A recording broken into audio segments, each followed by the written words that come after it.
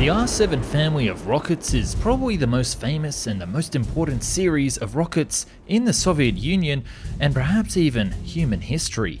Engineering behind this rocket brought the first satellite and human into space for the first time and led to the development of the Soyuz rocket, which has been the workhorse of the Soviet, Russian, and even international space community for many decades. Today, we'll talk about the space pioneers, the engineers, the cosmonauts, the politics, and the betrayal of the R7 program. How many lives were lost throughout the years, and how the Soyuz almost never came to be. Strap in for a wild ride throughout history and see how the humans found the way to the stars. With this rocket, Russia opened up a whole new world of technology, exploration, and warfare. But you have to imagine what if another nation had been first? China, Finland, or even Australia? It's this very scenario that you can play out on today's video sponsor, Conflict of Nations. Conflict of Nations is a free online player versus player strategy game that you can choose a modern country to lead into a global war. You fight 128 other players in a real time game that can take weeks to complete, so it's perfect for those who want to casually play over time. Make alliances with other players, declare war on your neighbors, and take over the world. I personally love this game because of its long-term strategy, so I can plan out battle operations for weeks before I execute, just like the real-life Supreme Commanders of old. You can play on the same account on both PC and mobile, and if you use the link in the description, you get 13,000 gold and one month premium subscription for free. And that's only for the next 30 days, so make sure that you click that link as soon as possible. Back to the show.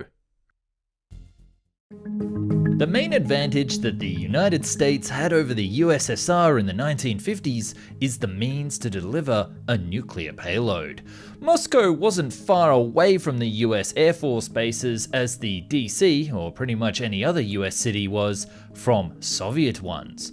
So the Soviets started developing new ballistic missiles with their experiences from captured German V-1 and V-2 rockets to base their designs off. When Nikita Khrushchev came to power, he made it a number one priority to develop new ballistic missiles capable of delivering the end of the world. That leads us to the first in the series. The R1 was a direct copy of the V2, and the R2 was a larger R1 with a bigger range, but in the early 1950s, Sergei Korolev, the father of the Soviet space program, was put in charge of developing the new rocket, which could put the scales into balance. And so development started of the Semyorka R7. The requirements set for this project were a range of 8,000 kilometers and a payload capacity of 3 tons. Soviet nuclear warheads at the time were very bulky and heavy, and this is a very important fact that we'll get to in a minute. The rocket itself was unique in design a two-stage beast powered by a total of five engines.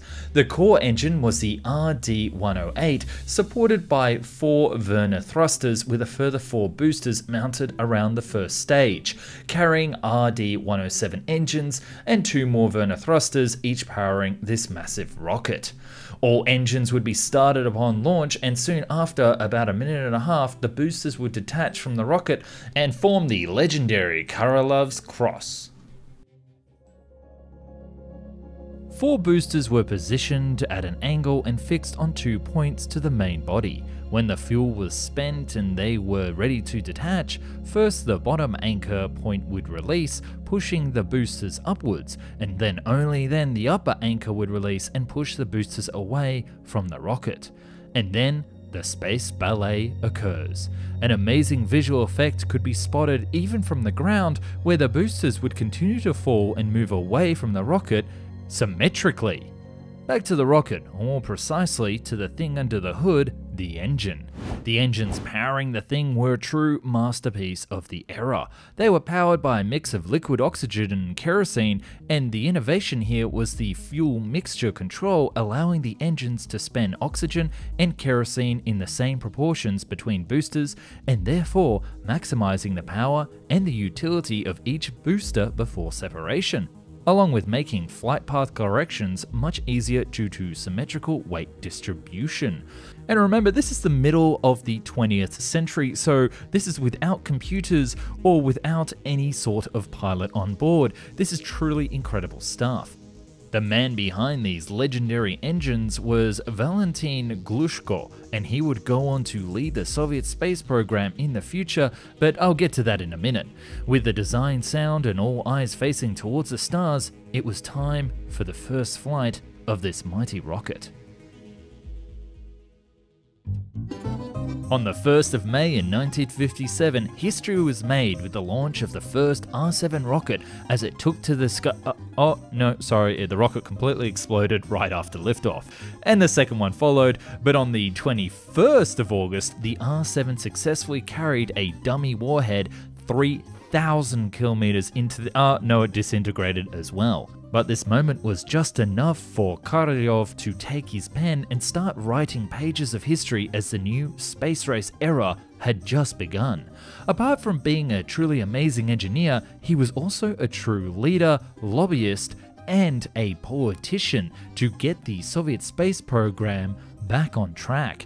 He actually persuaded the powers that be back in Moscow to let him use the R 7 to not just carry nukes, but to go to space. Remember that point about the payload capacity and the size of the nuclear warheads? This is where that comes into play. Over the years, nuclear warheads were actually getting smaller and lighter, and the Soviets, uh, not even realizing what they had when they started development, ended up with an overpowered rocket with a huge payload compared to the American ones. And this is what gave the Soviets a big head start in the space race, which the engineers definitely knew how to use to their advantage. And thus, the first satellite, Sputnik, soon followed. Only a month later, the best girl of them all, Laika, was the first living being in space launched on the Sputnik 2. But unfortunately, she never came back home. Rather, she has stayed in the sky to guard the gate to space for all humans to explore. Tsiolkovsky, the father of theoretical space travel, once said, Earth is the cradle of humanity, but one cannot stay in the cradle forever. Further development of the R7 led to a new rocket called the Vostok, essentially a three stage rocket now with the same engines used for the first and second stage, and an additional RD 109 for the Block E, or the third stage of this new rocket. The maximum payload capacity was brought up to 4.5 tons, and the first goal of this rocket was manned missions to space. But before the Vostok, however, Luna 8K72 rockets were the predecessors focused on the Soviet moon program. Luna 1 was the first attempt, which missed the moon by some 6,000 kilometers due to a malfunction, although it was the first spacecraft to leave Earth's orbit or should I say, reach escape velocity. Luna 2 was a success and was the first human made object to reach the surface of the moon, and Luna 3 was the first to take pictures of the far side of the moon, which you know is hidden from the Earth's surface. A couple more good boys were sent to space aboard Vostok rockets, this time also coming back to tell the story, like Belka and Strelka, and the possibility of a human in space was now becoming more viable than ever before. And so on the 12th of April in 1961, Yuri Gagarin aboard the Vostok 1 made the first flight to space. This event changed the course of space history forever, getting NASA more committed than ever before to be the first person to put a man on the moon. But it is also where the story took a sharp turn downwards for the Soviets. Further development of the R7 base design led to the Voskhod and Molniya rockets. Molniya was designed as an interplanetary four-stage rocket with obviously a huge fourth stage, although it had a very troublesome start with many failures. It did succeed to send the first probe to land in Venus in 1967, so there is a success there. Voskhod, on the other hand, was still a three stage rocket, but made to carry multi crewed missions into space, bringing Alexei Leonov into space for the first spacewalk. Meanwhile, Korolev was put in charge of a crewed moon mission and the development of the famous N 1 rocket. But all of this would prove to be a mistake. There was a fallout between Korolev and Glushko, who left the project without the appropriate engines. Korolev was overworking himself and trying to get the funding needed from the government, and due to health issues he previously had, he ended up dying in January of 1966 without completing his project. The story of the N1 rocket is a topic for another day, but the death of Korolev marked the end of an era for the Soviet space program. Next year, Vladimir Kerimov was to be the first human to lose his life in space aboard the Soyuz 1, and lastly, in 1968, Yuri Gagarin died in an aircraft training accident. Neil Armstrong would then go on to put his foot on the surface of the moon in 1969, and the N1 program was scrapped while the future was looking bleak for the entire Soviet Union. But this wasn't exactly the end, rather, the beginning of maybe the biggest plot twist of space exploration and the Cold War. Despite Korolev's death in 1966, it was also marked as the first flight for the Soyuz rocket, the last rocket of the R7 family. This rocket, which would go on to carry even the American astronauts to space for many years, and which was the true legacy that all of the legendary Soviet space pioneers left for humanity into the years to come.